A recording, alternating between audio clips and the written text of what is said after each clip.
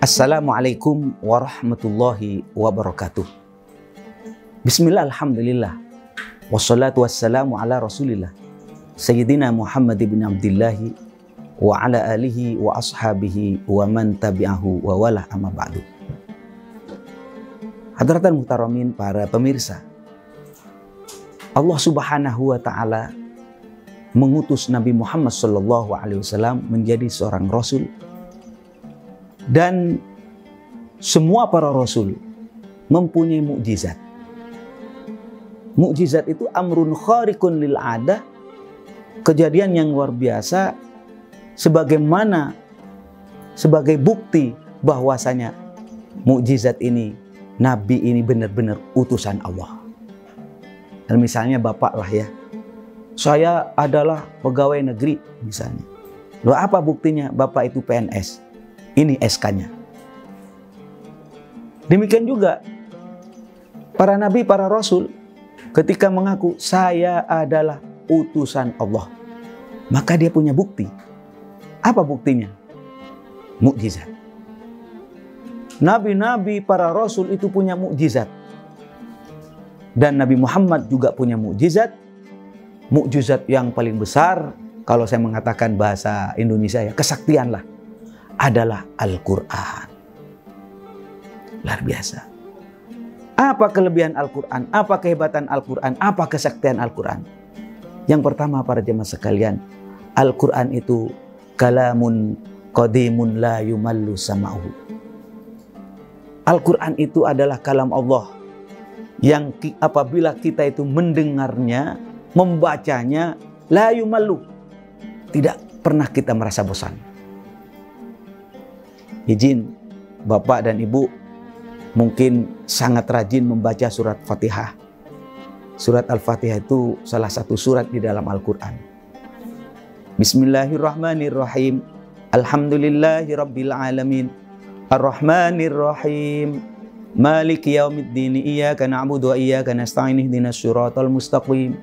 Siratal ladzina an'amta 'alaihim ghairil maghdubi 'alaihim waladdallin. Amin. Fatihah. Berapa kali kita baca Al-Fatihah? Minim kalau kita melaksanakan sholat wajib 17 kali.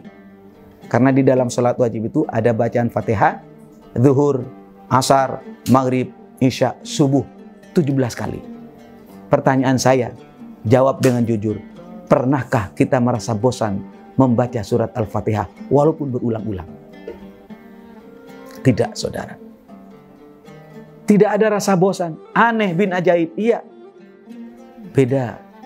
Kalau kita itu mendengarkan lagu. Mungkin sekarang sedang tren. Orang pada seneng. Tetapi sehari, dua hari, sebulan kita sudah bosan. Selesai. Jadi lagu nostalgia. Tidak tren lagi. Kenapa? Karena bukan kalamullah. Tidak ada tuahnya. Tapi kalau kalamullah di antara kehebatannya adalah Al-Quran apabila didengar dan kita membacanya, kita tidak merasa bosan.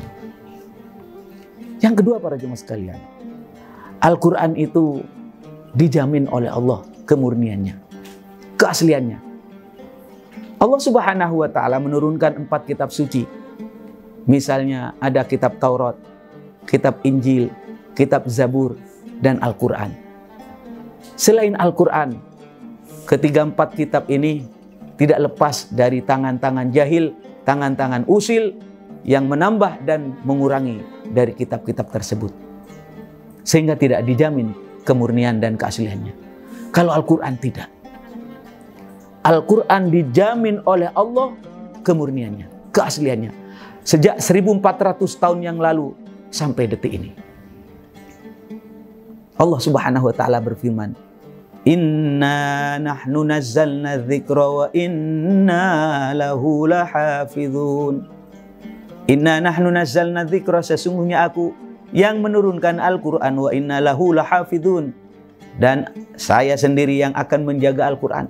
Karena itu mekanisme Allah Subhanahu wa taala di bumi ini dengan apa? Dengan banyaknya hafiz dan hafizah. Dengan banyaknya orang yang hafal Quran baik laki maupun perempuan. Subhanallah. Dan itu alhamdulillah.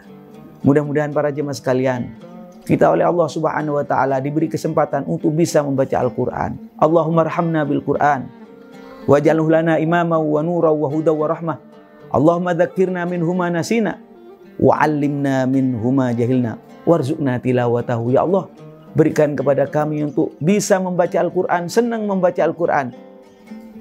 Ana al-lail wa atrafan nahar. Baik di malam maupun di siang hari. Para jemaah sekalian, saya mengajak kepada para pemirsa dari rumah masing-masing, ayo bersama-sama hidupkan diri kita dengan Al-Quran. Sinari rumah kita dengan Al-Quran. Rasulullah mengingatkan, Nawiru buyutakum bitilawatil Quran. Sinarilah rumahmu dengan membaca Al-Quran. Para jemaah, insya Allah Quran yang kita akan yang kita baca ini akan menjadi pembela besok di hadapan Allah. Apalagi nanti di dalam kubur. Tidak ada bapak, tidak ada ibu, tidak ada saudara, tidak ada pembela. Yang bisa membela kita hanya Al-Quran. Para jemaah mari kita akhiri majelis ini dengan membaca zikir, istighfar mohon maaf kepada Allah atas kesalahan dan kekhilafan kita. Astaghfirullahaladzim. Astaghfirullahaladzim.